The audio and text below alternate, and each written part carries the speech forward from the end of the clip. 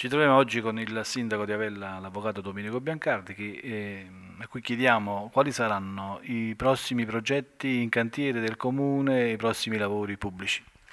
Ma eh, diciamo che i prossimi progetti eh, li stiamo valutando anche sulla base delle ultime eh, diciamo, eh, programmazioni della Regione Campania e quindi già siamo al lavoro per le misure 1.9 e 1.12 che il 28 marzo scadono e quindi già siamo pronti con la progettazione. Contemporaneamente però eh, stiamo ehm, correndo per portare avanti e quindi poi successivamente quindi a termine i progetti che sono stati già finanziati. Quello dell'area museale che sono già avviati i lavori qui al Palazzo Ducale che prevede ovviamente il nuovo museo nel Palazzo Ducale, poi il giardino sarà ovviamente completamente ristrutturato e, e così anche con, eh, come la rete fognaria eh, che sono stati già assegnati all'impresa i lavori, salvo che l'impresa impresa ha un leggero ritardo perché l'ANAS vuole un piano di sicurezza specifico che è stato approvato perché si interviene su una nazionale delle Puglie ed è giusto che questo l'ANAS eh, ha dato il parere favorevole anche sul piano di sicurezza, quindi saremo a giorni che inizieranno anche la rete fognaria, mentre l'area PIP già sono stati avviati i lavori per l'intera urbanizzazione dell'area PIP e anche il Gaudio Sciminaro sono arrivati eh, già eh, in contabilità diciamo, l'assegnazione per cui a momenti inizierà, salvo il cattivo tempo che purtroppo sta imperversando, inizieranno i lavori anche nell'area del Gaudio Sciminare e quindi di mettere in sicurezza anche quell'area. Eh, la settimana scorsa abbiamo ritirato anche l'altro decreto in Regione Campania che vede invece l'inizio dei lavori per eh, l'albergo in località ex Mulino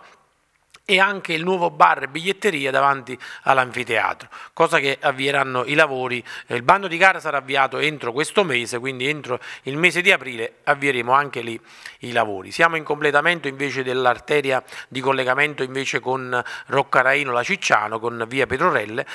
e anche lì saranno, quindi sarà eh, completata l'opera eh, credo nel mese di marzo con rete fognaria, questo anche a carico della comunità montana, con nuova rete fognaria e quindi anche lì poi sarà collegato il tratto di rete fognaria di via Sant'Angelo con il collegamento poi alla rete attuale che stiamo già realizzando. Quindi anche via San Nazzaro sarà soggetto quindi a rete fognaria, via Tombe Romane, insomma sarà un'opera immensa che vedrà eh, eh, veramente recuperare questo paese sul piano proprio delle infrastrutture, recuperare molti e molti anni che purtroppo sono stati trascurati. Così come eh, per esempio anche il problema dell'acqua, il pozzo idrico, eh, diciamo che entro quest'anno sarà completato anche la messa, eh, sarà calata la pompa, perché purtroppo non abbiamo potuto onorare i pagamenti perché il patto di stabilità impone fino a un tetto e quindi noi pur avendo i soldi a disposizione perché eh, abbiamo concessione di mutuo, non abbiamo potuto pagare l'impresa perché i lavori che sono stati avviati dal Comune sono stati addirittura superiori a quelli che impone lo Stato per poter fare noi come ente la percentuale di lavori e oltre il quale non possiamo eseguire. Quindi già da quest'anno, eh, primi giorni insomma, eh, insomma, di questo mese di marzo, sarà già avviato il pagamento per eh, il pozzo in località Castello. Quindi c'è tutta una serie di, di programmazioni di quello che abbiamo fatto in questi tre anni e che adesso finalmente vedono l'inizio di tutte queste opere. Eh, nell'ultimo consiglio comunale c'è stata questa diatriba tra lei e il consigliere d'opposizione Pellegrino oh, Palmieri che proprio domenica scorsa è uscito con un manifesto accusando di essere un padrone. Ma insomma, prima si accusava il paese di non avere un sindaco eh, di non avere un sindaco compolso. Adesso invece probabilmente si ha un sindaco che eh, incide molto sull'andamento progettuale del Paese e, e diciamo, sugli obiettivi che il Paese ha da recuperare e si dice che questo sindaco invece è un sindaco padrone. Insomma, mettiamoci un poco d'accordo. Io sto in maggioranza eh, con, lavorando eh, dal, diciamo, dal, primo giorno, o meglio, dalla campagna elettorale che io ho detto alla gente che l'intenzione nostra e di questa amministrazione era di recuperare i molti e molti anni dove in questo Paese ci sono problematiche vecchie e che noi abbiamo affrontato con grande energia ottenendo numerosi finanziamenti. E questo è sotto gli occhi di tutti. Quindi adesso avviano anche i lavori di questa opera che noi abbiamo fatto, quindi tutto quello che noi abbiamo promesso siamo andati addirittura al di là di quelle che erano le nostre aspettative. E con questo continueremo ancora perché andremo a recuperare anche l'area delle cooperative con un, bocciodromo, un bocciodromo che sarà installato proprio nell'area delle cooperative, questa è una novità che te la comunico, che è già arrivato proprio stamattina la struttura in legno che è coperto, quindi voglio dire qui si continua e si corre velocemente. Però poi strumentalizzare e dire cose che assolutamente non fanno parte di un linguaggio di serenità, di un linguaggio soprattutto di sincerità eh, che va trasmesso alla gente, all'elettore e questo fa male. Io in Consiglio Comunale ero seduto al mio posto e quindi non ho fatto nulla di, di, di, diciamo, di eclatante se non rispondere ad una indicazione che veniva data dal consigliere Palmieri circa le indennità che il sindaco eh, insomma, ha sempre rinunciato insieme a lui anche gli assessori di giunta. Quindi mai questo comune ha pagato agli assessori e al sindaco le indennità. I, i cittadini di Avella devono sapere che l'indennità spettanti al sindaco non è di poco importo. Parliamo di 2.600 euro al mese che dovrebbe essere data al sindaco e di circa 900 euro al mese che toccherebbero agli assessori. Noi sin dal primo eh, mese abbiamo fatto atto di rinuncia e parliamo del 2011 perché vigeva qui il commissario prefettizio e quindi in bilancio già non c'erano le voci delle indennità. Noi già abbiamo rinunciato per i cinque mesi del 2011 appena dopo eletti. Nel 2012 invece, io parlo con gli atti, sono pubblicati sul, su internet, quindi chiunque le può vedere, anzi li consegno a voi questa mattina. Ci sono le tre delibere del 2012, 2013, 2014, la 2015 già è stata fatta, la troverete anche quella su internet, dove eh, gli amministratori hanno fatto la rinuncia delle indennità. Però nel nostro bilancio, che è un bilancio abbastanza risicato, nonostante i numerosi eh, eh migliaia di euro che abbiamo avuto eh, come, come eredità, 4 milioni di euro che abbiamo onorato, e quindi abbiamo tirato fuori eh, diciamo, i soldi per, per, pagare i debiti pregressi, noi non potevamo certamente attingere eh, soldi dal bilancio comunale per poter creare la fondazione. Una parte di queste indennità cioè 55.000 euro, sono state destinate con delibera numero 33 del 2012, io la consegno a voi,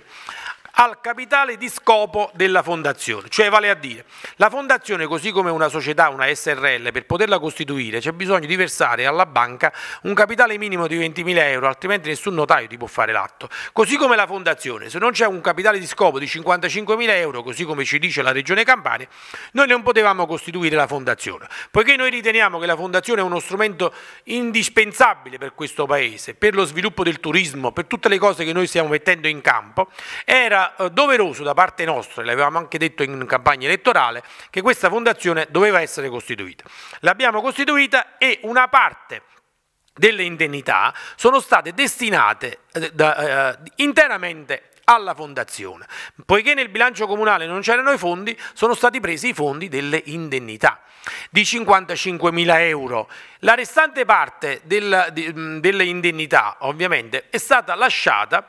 alla, al bilancio comunale, così come possiamo vedere la delibera del 2013 recita praticamente che autorizzare i responsabili dell'area amministrativa e finanziaria per l'incremento delle somme destinate in bilancio per i servizi culturali e per la gestione dei casi di emergenza sociale. Quindi ogni anno noi abbiamo lasciato i fondi e abbiamo detto dove potevano essere utilizzati questi fondi. Così come anche quelle del 2014 abbiamo lasciato i fondi, una parte l'abbiamo data per il bilancio comunale, un'altra parte per le esigenze sociali. Se sono venute qua 50 famiglie con il modello ISEE e hanno detto noi non possiamo pagare le tasse al comune e quindi la Tasi eh, o viceversa la Tarsu o altro ancora, queste tasse noi le abbiamo rottamate per le famiglie che non hanno reddito con i soldi e i proventi che abbiamo rinunziato alle indennità. Quindi noi certamente, incominciando da mio zio Domenico Biancardi, poi mio fratello Vincenzo Biancardi e io,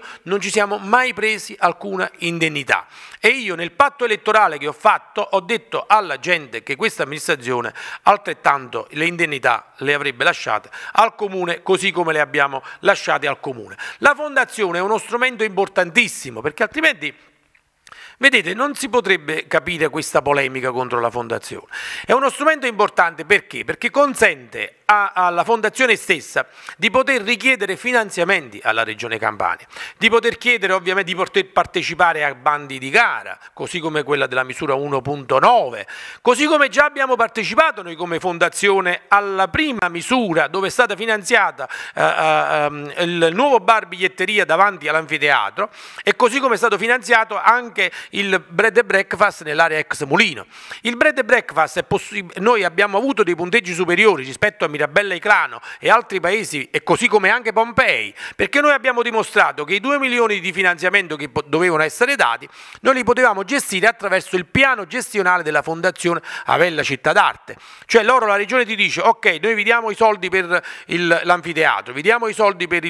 l'albergo, ma come lo mettete in, in funzione, voi l'albergo? Attraverso la fondazione che curerà il piano gestionale. Quindi questo è uno strumento utile che ci fa acquisire punteggi, oltre che sviluppare eh, cultura e, e così come ha fatto la guida turistica, così come le manifestazioni che sono state fatte negli anni passati. Ma ovviamente per fare questo c'è bisogno, poiché la fondazione è un braccio del comune, non è una fondazione o un'associazione privata. Il bilancio della fondazione viene fatto dal bilancio del comune, c'è un proprio revisore contabile, è una, eh, diciamo una, una partecipata del comune a tutti gli effetti, ma è una partecipata comunale. Quindi tutta questa polemica e montare questa polemica e far capire alla gente che le indennità del sindaco ci sono, sono state prese o non sono state prese, dare questi interrogativi, insomma, a chi sta lavorando da quattro anni senza ehm, mettersi un euro in tasca delle indennità, e parliamo di 2.600 euro al mese, questo se mi consentite, insomma, a me eh, fa male. Fa male soprattutto quando si vuole far trasmettere un messaggio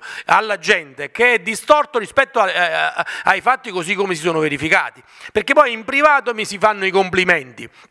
e mi si dice che sto operando bene, che stai facendo tutto per il paese, stai recuperando anni, poi si viene in pubblico e si viene a dire una cosa completamente diversa e, e offendendo anche le persone. Quindi questo per me è un'offesa perché chi ha lavorato, chi lavora per il comune e chi sta ottenendo tanti risultati, non certamente solo con l'ausilio del sindaco, eh, ma soprattutto anche con l'ausilio della giunta e di tutti i consiglieri comunali, perché da solo io certamente non avrei potuto ottenere tutto quello che ho fatto, sia con la parte del comune sia con la comunità montana. Parcheggio Castellano che sta in via di completamento, cioè qua ci sono opere che diciamo prima nell'anfiteatro non si poteva neppure neppure entrare, o meglio, probabilmente entravano i greggi di pecore, i cavalli nell'anfiteatro. Ho fatto la messa in sicurezza, il primo finanziamento, l'illuminazione, adesso verranno messe le scale con le gradinate complete, cioè sarà reso utilizzabile a tutti gli effetti. Quindi c'è massima attenzione ai beni culturali, protocollo di intesa con la sovrintendenza per quanto riguarda la gestione del museo, la gestione dell'anfiteatro, cioè voglio dire, a tutto campo non abbiamo tralasciato niente o quasi nulla insomma, rispetto alle reali esigenze di questo territorio. Potrei andare avanti per ore a parlare, ma comprendo la vostra difficoltà a tenere un servizio così lungo. Ringraziamo il Sindaco.